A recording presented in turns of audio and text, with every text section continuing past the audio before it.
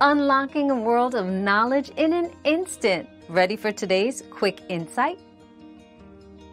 Kittens begin to eat solid food at around four weeks old. Start by offering a mix of kitten formula and wet kitten food to ease the transition from nursing. Gradually increase the ratio of solid food over the following weeks. By eight weeks, most kittens should be fully weaned and capable of eating solid food exclusively. Ensure the food is specifically formulated for kittens to support their rapid growth and nutritional needs. Another mystery solved, but many more await. Keep up with our daily discoveries by subscribing and turning on notifications.